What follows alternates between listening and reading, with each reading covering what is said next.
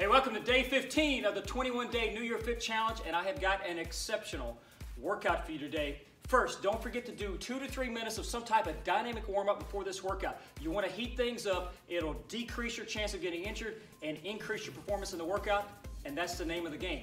So, for the workout, we've got three movements. Let me go through each one of them and then I'll explain the workout.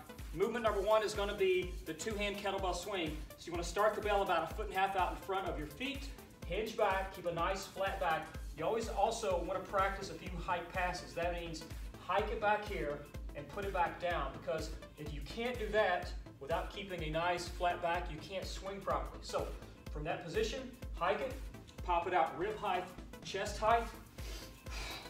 That is exercise one. Exercise two is going to be a classic mountain climber. So we start push-up pole position, screw the hands into the floor, start the feet about hip width apart, and I'm to begin by bringing the knee up into the elbow, back, opposite knee, and you can see that the foot doesn't touch. And then you can start to speed things up. Keep the eyes out front. One big thing on this is when we count reps, we're only going to count from the right knee comes up. So that would be two, three, four. That's how you're to count it. Movement number three, the hollow body pump. So let's come over on your back.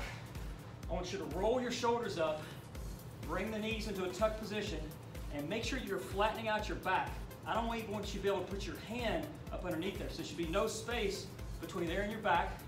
Start from this position, and you're going to extend your legs out while simultaneously extending the arms back. You should feel tension right in the abs. Squeeze the feet together, and then bring the hands and knees in. Back out. Try to keep a like an apple underneath your chin. Back and forth. That is the hollow pump. Now, you could also, to make it easier, just hold in this position for 30 seconds, okay? So, we've got the three moves, the swing, the climber, and the hollow hold. Here is the workout. So this is a ladder workout. The way this is gonna work, you're gonna perform 10 kettlebell swings, 10 mountain climbers, only counting the reps when the right knee comes in, not the left, and then 10 hollow body pumps. 10, 10, 10.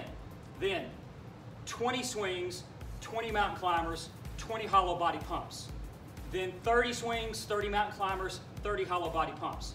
10, 20, 30, resting whenever you need to. You want to complete this in under 10 minutes. Now, extra special challenge for those of you that really want it.